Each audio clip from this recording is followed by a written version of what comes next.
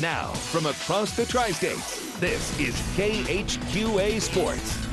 Now, truth be told, they really couldn't be bigger opposites. One is a 260-pound undefeated monster set to make his third ever appearance on Iowa's biggest wrestling stage, perhaps the favorite to title.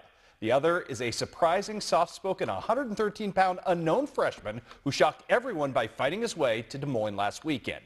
Together, Alex Goss and Cam Sataji represent the Gate City's hopes for glory at the Iowa State Wrestling Tournament beginning tomorrow.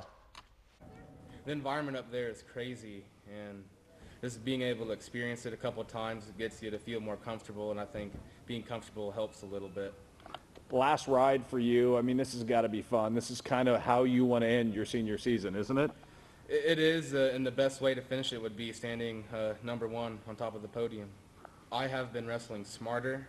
Uh, last year I was just going out there trying to muscle people. This year I've been using my experience and uh, to my advantage and just been using my head. Uh, it's nice to go up there and just get the experience of being there as a freshman hopefully improve over the next few years.